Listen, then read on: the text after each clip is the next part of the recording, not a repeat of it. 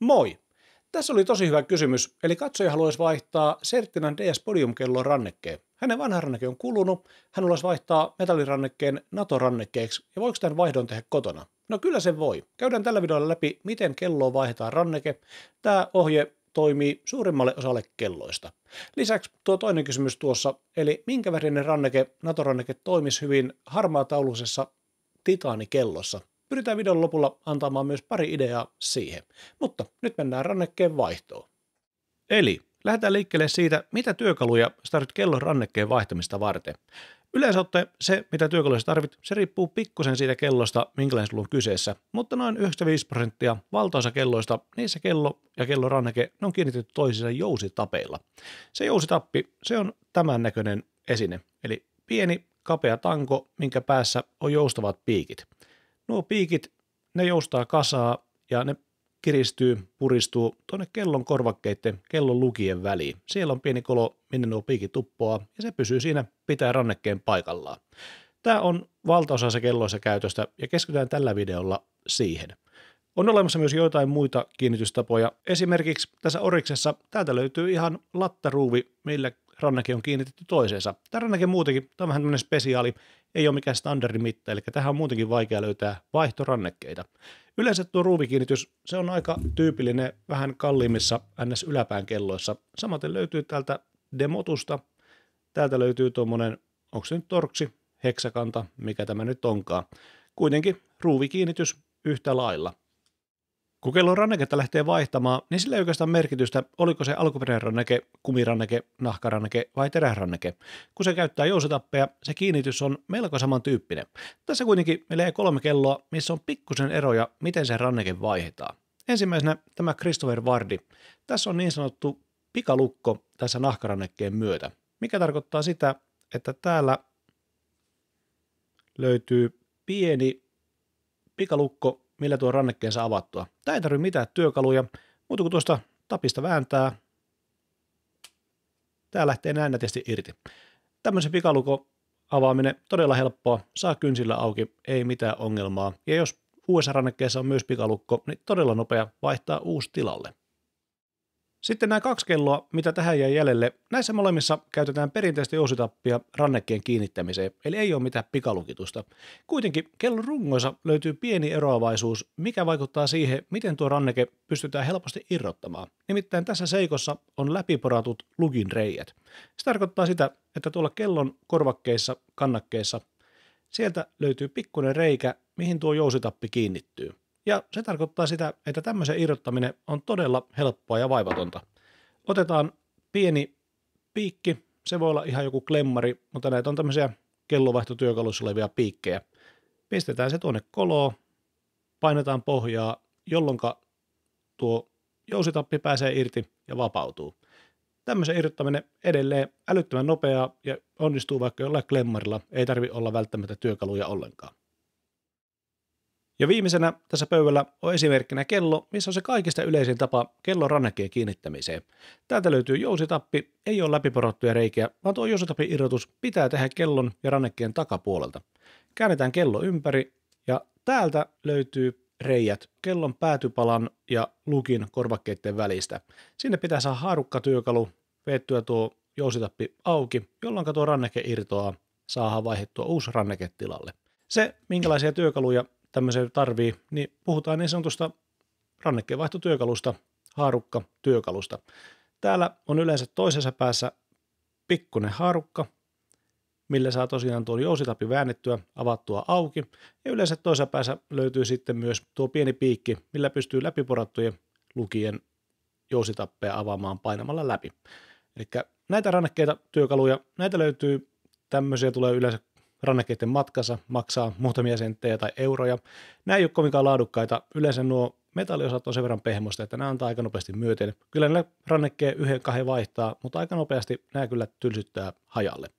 Ennemmin kannattaa panostaa, jos enempi on kelloja, rannekkeita, niin vähän laadukkaampaan työkaluun. Tässä on vaikkapa Horotekin sveitsiläinen työkalu.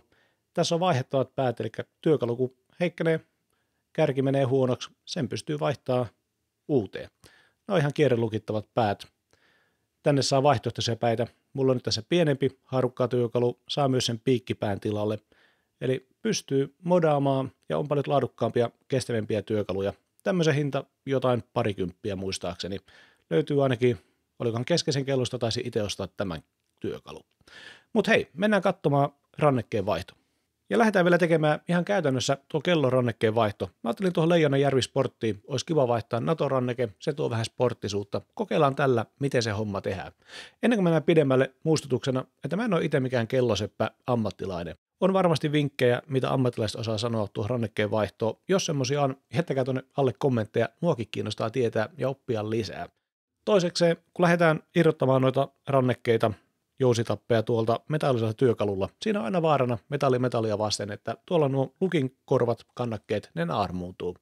Jos sulla on oikeasti arvokas kello, tärkeä kello, mikä haluat säilyttää priimakuntoisena, niin ehkä kannattaa käyttää ammattilaisella.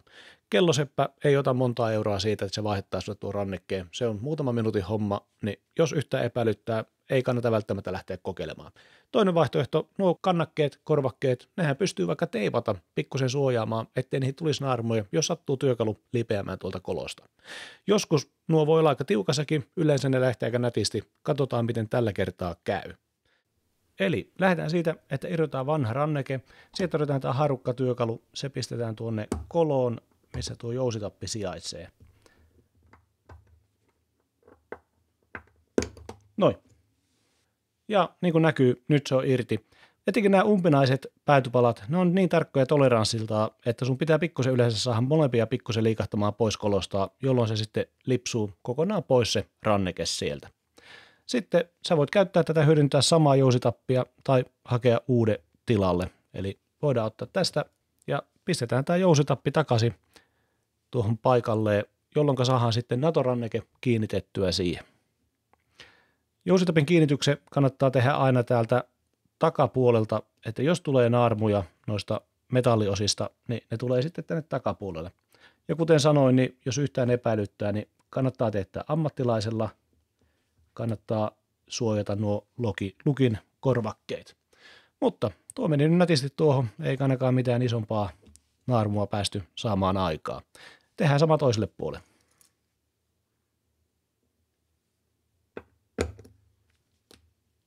Se lähti sieltä.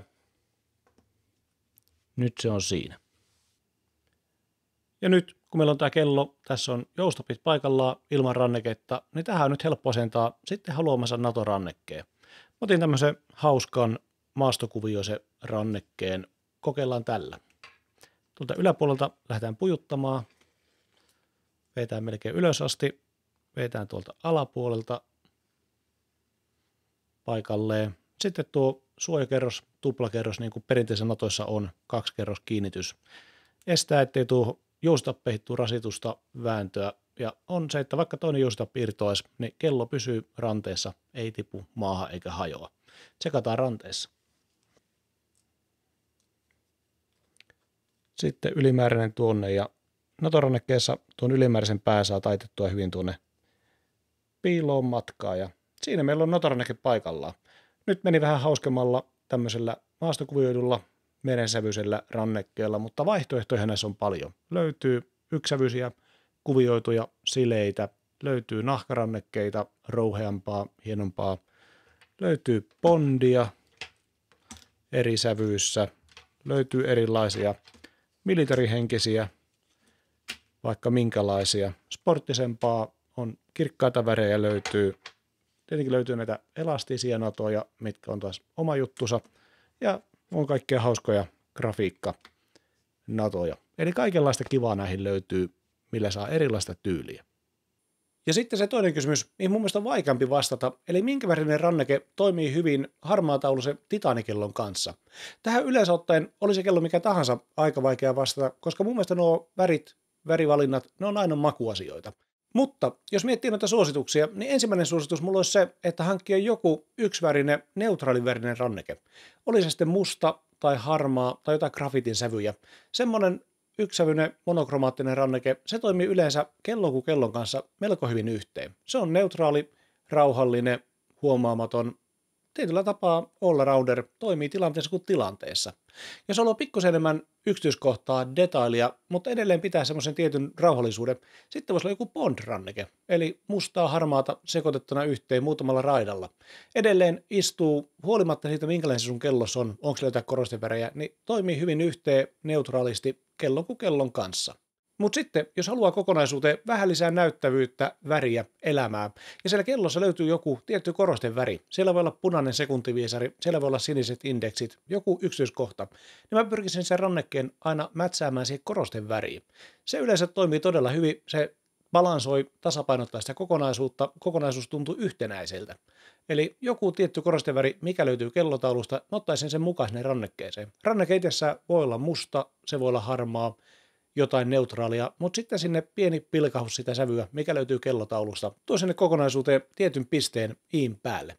Ja tietenkin, jos tykkää kunnolla näyttävästä sporttista kokonaisuudesta, niin silloin joku kunnolla räikeä ranneke toimii aina. Mun oma suosikki on yleensä ranneke. Se on jotenkin kivan pirtsakka, varsinkin kesäisellä säällä. Muutama asia, mitä kannattaa miettiä tuossa ranneketta valittaessa, on se, että materiaaleja on hyvin erilaisia. Se, minkälainen tekstuuri tuossa Natorannekkeessa on, se myös muuttaa sen kellon ulkonäköä ja tyyliä.